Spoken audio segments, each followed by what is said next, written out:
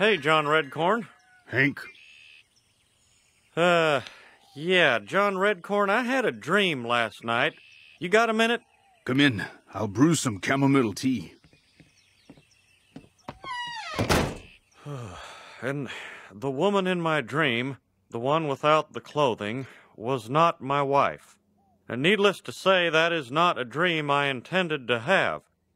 My people believe that dreams are the unconscious mind trying to solve a problem that the conscious mind cannot. Is there anything unusual going on with you?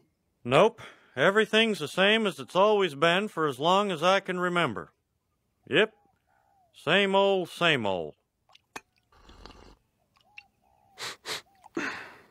Is it possible that after 20 years of marriage, you're a little tired of your wife? What?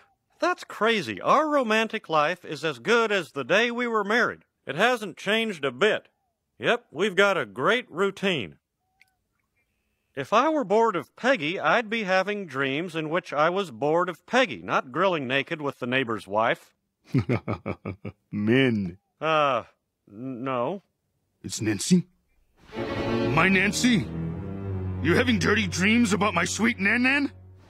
Say, is that a new suede vest? Nancy used to like it when I kept the vest on during sex. Do you want it? Oh, God. Here, take it. Take it all. Ugh.